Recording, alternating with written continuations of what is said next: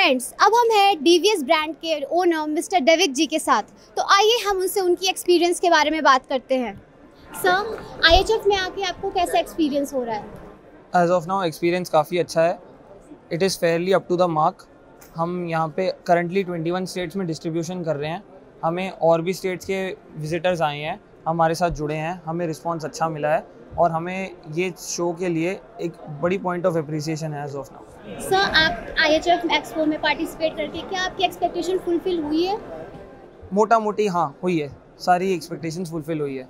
आपके brands India के कौन कौन से स्टेट्स में we are currently present in 21 states. We have fairly less control in northeastern part of india but हमें यहाँ आके वहाँ के भी गेस्ट कस्टमर्स मिले हैं वहाँ के डीलर्स हमारे साथ जुड़े हैं।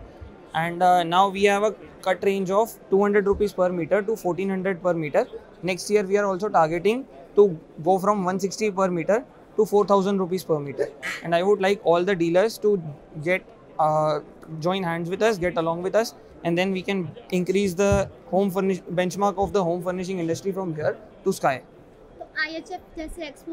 आपको क्या लगता है कि एक्सपोर्ट में आपकी अपॉर्चुनिटीज़ कैसी रहेंगी? क्या उसमें बूस्ट आएगा?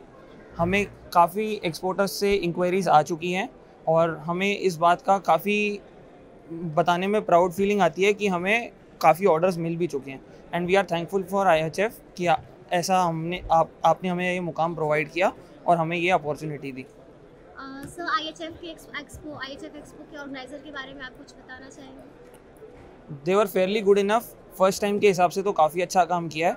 इम्प्रूवमेंट्स की स्कोप थी. They're they welcome all their opinions and feedback with wholeheartedly और मैं चाहूँगा कि ये शो और कंसिस्टेंटली अगले साल भी करें और ज़्यादा बड़ी स्केल पे करें और ज़्यादा अच्छे से करें. तो ये आईएचएफ एक्सपो जो है ये और भी स्टेट में होनी चाहिए? डेफिनेटली होनी चाहिए. मैं समझता हूँ इंडिया में तीन एक्सपो होने की ज़रूरत है. साउथ में बैंगलोर में नॉर्थ में दिल्ली में और वेस्टर्न जोन में बॉम्बे में. ईस्ट का मार्केट अभी डेवलपिंग स्टेज पे है जैसे और डेवलप होते जाएगा हमें फोर्थ एग्जीबिशन कलकत्ता में भी होनी चाहिए। आपका फ़र्स्ट टाइम है इस एक्सपो में? इस एक्सपो में फ़र्स्ट टाइम है वैसे हम एच में पार्टिसिपेट करते थे। आप आगे कंटिन्यू करेंगे डेफिनेटली करना चाहेंगे। Yes thank you thank you so much नमस्ते।